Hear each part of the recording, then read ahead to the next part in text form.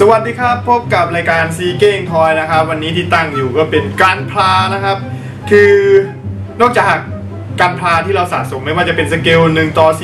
44 1ต่อ144นะ1ต่อ100 1ต่อ60 1ต่อ48 ที่เป็น Mega Size คือมันยังมีของสะสมอย่างอื่นที่นอกเหนือจากการประกอบเป็น plamo kit นะครับ ก็ยังมีอย่างตัวนี้เอามายืนประดับเฉยๆเคยรีวิวไปแล้วนะ ตัวนี้เป็น soft นะครับ เป็นงาน soft นะ เป็นสเกลที่ใหญ่ที่สุดในที่จำหน่ายในท้องตลาดนะครับ ซึ่งเดี๋ยวนี้ก็หายาก แต่ก็มีงานจีนมาจัดจำหน่ายนะ แล้วก็เป็นแบบกล่องที่เคยขายในเซเว่นตัวนี้ผมเคยรีวิวในไลฟ์สดครั้งที่แล้วอะให้ดูอีกรอบหนึ่งนะครับ ตัวนี้ราคาร้อยกว่าบาท ปัจจุบันไม่มีขายในเซเว่นแล้วนะ โอเค ซึ่งหน้าตามันก็จะเป็นประมาณนี้ นี่นะครับ ตัว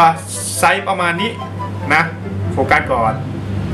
นี่นะครับ ก็จะขยับได้นิดหน่อยนะครับ เอาไว้ยืนเฉยๆเหมาะสำหรับใครเอ่ยเหมาะสำหรับแฟนเกิลก็เหมาะนะ ก็คือนักสะสมผู้หญิงนะครับ ก็น่าจะชอบนะ แต่วันนี้มันไม่ใช่แค่เท่านี้สิ วันนี้มีอย่างอื่นด้วยที่นอกเหนือจากการพลานะครับ ก็เป็นพวก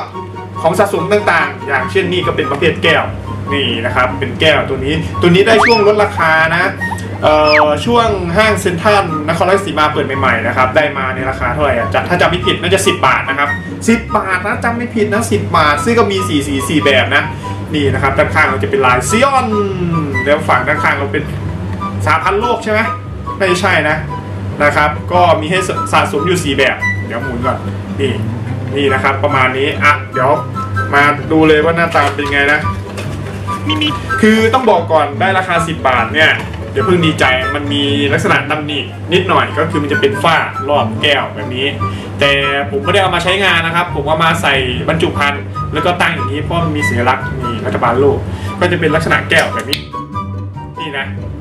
คือมันก็เก๋ดีนะ แค่มีลายแบบนี้แล้วมันก็แข็งแรงนะครับ เป็นแก้วแบบเก็บอุณหภูมิแต่มันเป็นลักษณะของพลาสติก แล้วมันขึ้นฝ้านิดหน่อยนะเห็นไหมรอบตัวเลย มันไม่ใช่ปัญหาสำหรับผมนะ ก็เลยเก็บไว้นะครับอะโอเควางไว้อย่นี้ก่อนนะ ใบต่อไปลายอะไรนะนี่ฝา นี่ครับล้มล้มล้มตั้งก่อนลายต่อไปก็เป็นลายทีมพระเอกเลย นี่ก็มีอะไรอะ มีจิมมีอาเอ็กเจ็ดสิบแปดนะ แล้วก็นี่นะครับ มันพิมพ์ว่าไงเนี่ย วันเดียววอศูนย์ศูนย์เจ็ดเก้าจากซีรีส์ศูนย์ศูนย์เจ็ดเก้าหรือเปล่าไม่แน่ใจไม่เคยดูนะ นี่นะครับก็เป็นอีกหนึ่งลายนะที่สวยเหมือนกันนะไหนลายซาคุผม ผมชอบมากเลยนะเอ่ออะไรที่มันเป็นลักษณะเกี่ยวกับตัวโกงนะครับ ตัวโกงแบบมีมียังไงเขาเรียกว่าคุณธรรมเหรอตัวโกงที่มีจุดประสงค์นะครับ ผมชอบนะขอแกะก่อนนะครับ นี่เลยเป็นสัญลักษณ์อะไรไม่รู้ V นะแต่มันก็จะขึ้นฝ้าตรงนี้ก็จะเป็น แบรนด์พิมพ์เขียว RX 78นะคุณปู่กันดั้มนั่นเองนะครับ เป็นตำนานของกันดั้มก็คือตัวนี้อะนี่นี่นี่นี่นี่นี่ตัวนี้ตัวนี้พี่เบิ้มเรานี่นะครับ ก็มันเป็นตัวที่คลาสสิกนะ ทุกคนที่เก็บการพราวเนี่ยจะต้องมีตัวนี้ไว้บูชาก่อนนะครับ ไม่งั้นเดี๋ยวจะตอบพรามไม่สำเร็จไม่ใช่นะ ความชอบล้วนๆอ้าวไปสุดท้ายโอ้ยเราพระเอกมาเยอะแล้ว นี่เลย นี่ครับ พี่สาคูแดง สาคูตาเดียว ยักษ์แดงนะก็เป็นตัวที่เป็น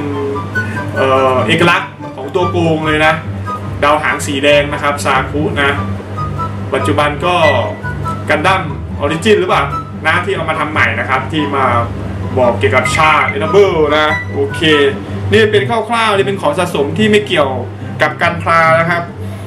นี่ อย่างนี้ก็ได้มา 10 บาท เป็นที่รองแก้วหน้า RX 78ก็เท่ไม่เบานะครับ ก็ขึ้นอยู่กับเราจะชอบสะสมนะ บางคนเก็บการพลาอย่างเดียว แต่ผมเก็บหลากหลายที่เกี่ยวกับการพลานะครับ แล้วก็มาประดับตู้ให้มันดูสวยงามนะครับ ก็เลือกสรรหาเอาแล้วกันนะ แล้วมันเป็นช่วงลดราคาก็ไม่พลาดที่จะเอามานะครับ คือตั้งแต่เปิดห้างเซ็นทรัลนครราชสีมาแล้วแหละก็ได้มาในราคาที่ย่อมเยาวนะ เพื่อนซื้อมาฝากนั่นเองนะครับ มีหลาย ๆ อย่าง บางทีเราไม่จำเป็นจะต้องเก็บกันพลาอย่างเดียวนะ เก็บอย่างอื่นที่เกี่ยวกับการพลาก็ได้ไม่ว่าจะเป็นโปสเตอร์ เป็นรูปภาพ เป็นฟิกเกอร์คนขับ หรือไม่ต้องเป็น plamo kit อย่างเดียวก็ได้นะครับ มีสะสมรวมๆกันแล้วรับรองว่าตู้โชว์ของท่านสุดยอดแน่นอนนะ วันนี้รายการซีเก้งทอยก็มาให้รู้จักกันคร่าว ๆ นะครับ ว่ากันดั้มมันไม่ได้มีขายแค่พลาโมนะ เออมันมีเป็นแก้วน้ำที่เป็นหัว RX 78ก็มีนะครับ วันนี้อย่าลืมกด subscribe กดไลค์กดแชร์ให้ซีเก้งทอยนะครับ เดี๋ยวข้างหน้ามาเจอกันใหม่ เสาร์อาทิตย์นี้ก็ตั้งปั้น diorama เลย เป็นไดโอลามาที่ทำจากเศษ ขยะที่ทิ้งไปแล้วนะครับ ของผมนะก็มั่วๆหน่อยนะเสาร์นี้ ซึ่งจะเอามาไว้กับฐานหุ่นยนต์ของผมนะครับ เดี๋ยวมาดูว่าหุ่นยนต์ตัวไหนมาเจอกันวันพรุ่งนี้นะครับ สวัสดีครับ